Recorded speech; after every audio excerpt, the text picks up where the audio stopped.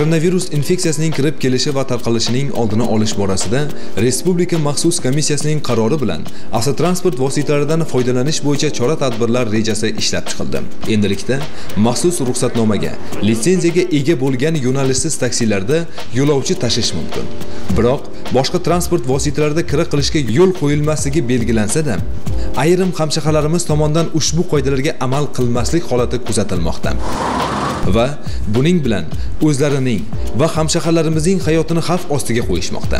Shahrimizdagi mazkur holat yuzasidan ijodiy jamoamiz bilan reyd o'tkazdik.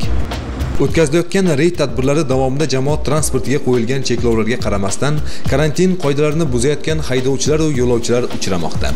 Ya'ni taksida faqat 2 kishini olib yurishga ruxsat berilgan bo'lsa-da, afsuski, haydovchilarimiz bu qoidalarga amal qilmay, xohlaganicha odam tashishmoqda. Bu ham yetmaganidek, fuqarolar taksi xizmatidan foydalanishda narxning biroz qimmatligiga norozi bo'lishmoqda va na iloj deb shu narxga ko'nishmoqda. Lekin o'ylab ko'raylik. Bunday qiyin vaziyatlarda bir-birimizga yordam berish o'rniga xalqimiz ilojsizligidan foydalanish insofdanmi? narxlar endi пересадка bilan yuribmiz qoniqtirmayapti oldingida ikki barobar qimmatga yuribmiz oilaviy byudjetimizga zarar bo'lyapti nima deymiz bizni keladigan joyimizda masalan bitta transport bilan keladigan bo'lsak hozir ikkita transport bilan kelyapti oldin uch mingga men borib kelayotgan bo'lsam hozir o'n mingga borib kelyapman Men oldin bir yarim ming hozir ikki mingdan qatnayapmiz endi majburmiz jamoatchilikka nazorat qilish kerak tepadagilar Конечно нет, пенсионеров тем более не устраивает. Конечно, нет. Почем они, смотря сколько они берут. А сколько они берут время? Ну, я знаю, в Ташкент 50 тысяч берут. Это же А в ужас. городе?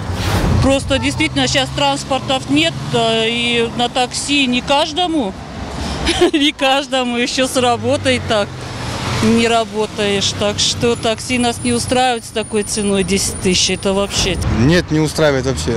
Ну, минимум где-то хотя бы тысяч пять, да, хотя бы. Но, но не 15, не 20 тысяч вообще же.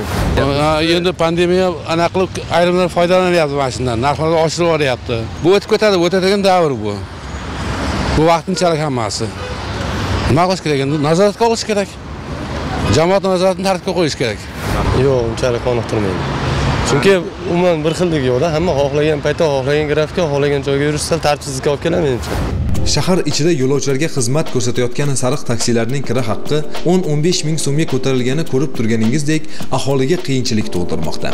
Bundan tashqari hamshaharlarimizning aytishiga qaraganda, ba'zi bir haydovchilar har bir kilometrga narx-navo belgilayotganmish. Xalqqa chinakam sinov keldi. Bu paytda barcha bir-birini qo'llab-quvvatlasa, maqsadga muvofiq bo'lardi. To'g'ri. Taksi haydovchilarining ichida kishilarning og'irini yengil qilaman deb ko'chaga chiqqanlar ham bor. Xalqimiz bunday insofli, diyonatli kishilarni hamisha duo qiladi. To- Tochkasi 10 ming bo'ladi. Ikkita tochka bo'lib odamlarga qiyinchilik bo'lmasin deb ikkita tochkani 10 ming- 15 ming qilib beryapmiz. yo'liga qarabda masalan yo'liga uzoq yaqiniga qarab ikki mingdan uch mingdan uzoqroq bo'lsa o'zi kishi olayotgan bo'lsak Odamlar nech puldan tashlayapsiz? ikki mingdan qaysi o'n mingdan yuradi Qanchadan yuribdi? o'n mingdan Shu o'rinda bir savol tug'iladi. Ko'chada noqonuniy qatnovni yo'lga qo'ygan Damaslar yo'lkira narxini kichik bir shaharcha aholisi ko'tarishga qiynaladigan qilib belgilab olgan yo'nalishsiz taksilar, ularni kim nazorat qiladi? O'ylaymizki, agar mazkur masala mutasaddi tashkilotlar tomonidan nazoratga olinsa, har kim o'zi uchun belgilangan qulayliklardan foydalansa, bu kabi muammolar ham o'z-o'zidan yechimini topishi shubhasiz. Shu o'rinda e'tiboringizni yana bir narsaga qaratmoqchimiz. Bugun dunyo o'zi zarracha bo'lgan tojdor virus bilan kurashayotgan bir paytda nega ko'chalarimiz hali hanuz odam bilan to'la? Nima uchun karantin qoidalariga rioya etmayapmiz? Nega koronavirus havo orqali yuqishini bila turib, zaruriyatsiz ko'chaga chiqmoqdamiz? Buning bilan o'z sog'lig'imizni xavf ostiga qo'ymayapmizmikin? Aziz hamshaharlar, balki oramizda infeksiya kezib yurgandir. Buni bilmaymiz. Ammo ogohlik hech qachon zarar qilmaydi. Shunday ekan, har birimiz karantin va sanitariya gigiyena qoidalariga qat'iy amal qilib, o'zimiz, yaqinlarimiz va xalqimizning sog'lig'ini himoya qilish uchun mas'ul ekanligimizni unutmaylik.